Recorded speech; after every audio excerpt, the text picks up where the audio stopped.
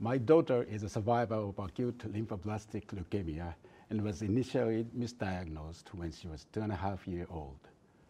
She is now an adult, yet despite the fact that leukemia is the most common cancer amongst children, there are many cases where it is still misdiagnosed. Through my daughter's experience, I came to be a part of the International Confederation of Childhood Cancer Parent Organizations and I have since met many families who went through the same experience as I did. It was through ICCCPO that I met the daughter of another parent who is also the survivor of ALL and who was also initially misdiagnosed. Today, I will present her story to illustrate how easily this can happen. Jenna grew up as a normal, happy child, reaching all her childhood milestones on cue, and was always very active and healthy, and only visiting the doctor for regular inoculations and checkups. This all started changing at around 19 months when some days she was less energetic and did not want to play, but her parents put this down to a growth spurt. At first, they were not concerned, but became worried when on some days she did not want to walk or just walked a bit and then sat down. But as she was generally happy, they brushed this aside as Jenna being temperamental. After a couple of days, she started to limp, and so they took her to the doctor. This should have been the second red flag.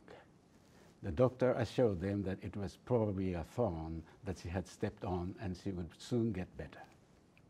A week went by, and she seemed better and started walking normally again. A short while later, she developed a sore throat with a cough and fever. They took her to the doctor, who gave her antibiotics.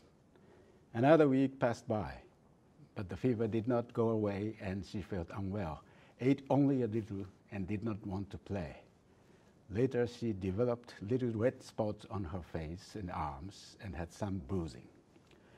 This all looked very strange, so they once again took her to the doctor. She also complained of shoulder pain when they lifted her arms to dress her. This time, the family doctor put it down to a reaction from the sunscreen they were applying and told them to stop using that particular brand.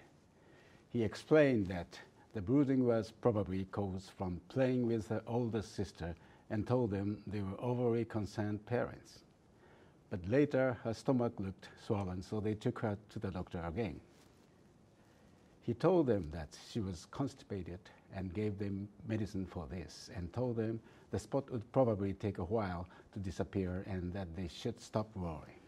After another week, she started limping again and was reluctant to walk at all.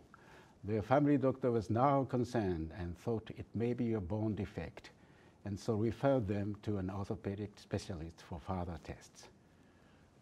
When the specialist saw Jenna, he asked the following questions When did Jenna start limping? Does she seem more tired than normal? When did the red spot appear and did this go away? For how long have you noticed that her stomach was swollen? When did you first notice a fever? During the examination, he manipulated her hips, causing her to cry, examined her lymph glands, palpated her stomach, and examined the red spots. He immediately arranged for Jenna to see a pediatrician despite it being 7 o'clock at night. The pediatrician asked the same questions when he examined Jenna and then, sent the parents directly to hospital for blood tests. The next morning, she was diagnosed with cancer. Jenna was then admitted to a pediatric oncology ward where they checked her bone marrow and the lumbar puncture was performed to de detect the presence of leukemia cells to confirm the type of cancer and its severity.